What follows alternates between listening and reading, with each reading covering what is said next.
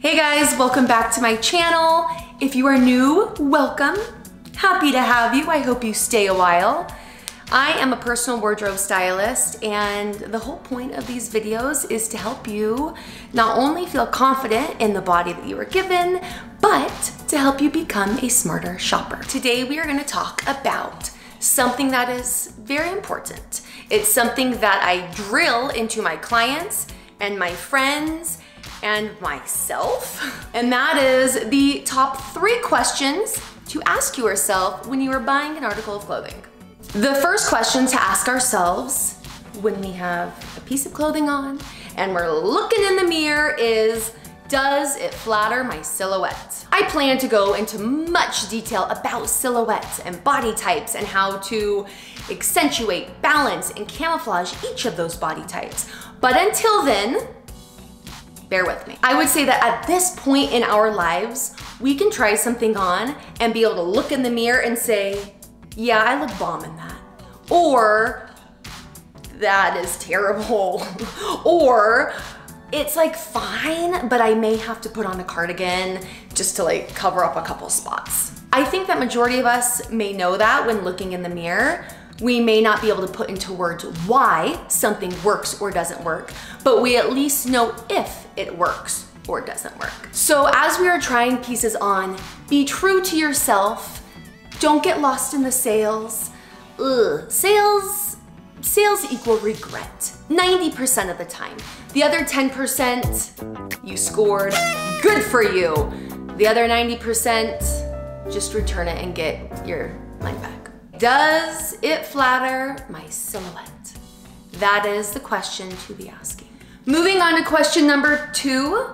Will this article of clothing coordinate with at least three other pieces in my wardrobe? This could be an article of clothing or an accessory or a shoe. It just needs to go with at least three other pieces.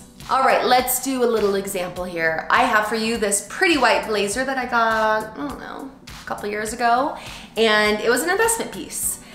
But I knew that before I could buy it, I had to justify it. So I already knew that it looked good on, but I had to make sure that I had at least three other pieces in my wardrobe that it would go with. It seemed like such a standout piece that it may be a little tricky.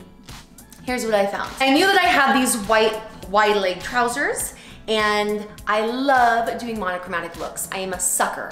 So I thought, cool, let's do the blazer, let's do the white trousers, and then I can add either a white tee on underneath for a little bit more casual or a white blouse. Boom, there's one outfit. I could also substitute in a pink shirt and do the same look with white pants, or I could bring in a pair of jeans, which is always very easy to do.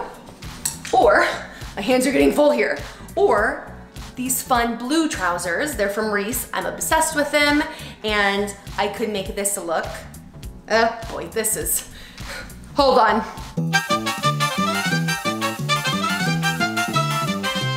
And action. I could make this a look and it would look very well put together. Now, not only have I found three extra pieces, but I have at least three other outfits. So I had this blazer, which I knew was going to be an investment piece, but the cost per wear was going to be very low because of how versatile it was. So she's home with me today. The third question to ask yourself before you pull the plug on that article of clothing is, is it sending the right message? Every item of clothing that we wear sends messages, from our earrings down to our shoes especially our shoes. Those are very, very important. Straight, angular lines will typically send messages of power, authority, maybe even intimidation. When I think about where I often see these messages, my mind first goes to the corporate workplace, where people are in nice, trim blazers with these prominent collars and their pants are pressed perfectly. They're usually wearing darker colors, and this will give those messages.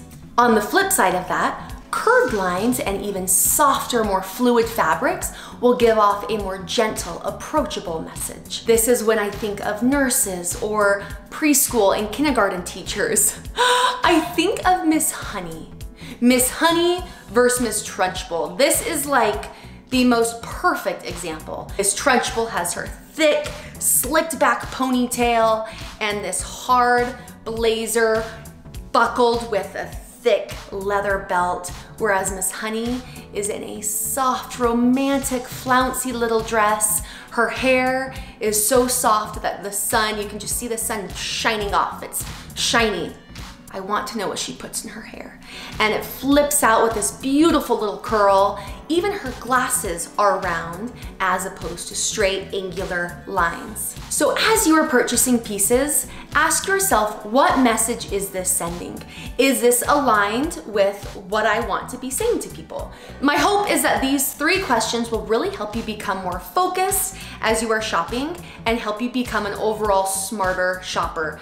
Make wiser purchases. We don't want the guilt of any article of clothing in our closet. So follow these three and you should be good to go. Thanks for listening and I will see you next time. Bye. If you like this video, please like it below or subscribe. Yes, just take a minute to subscribe. I'll wait.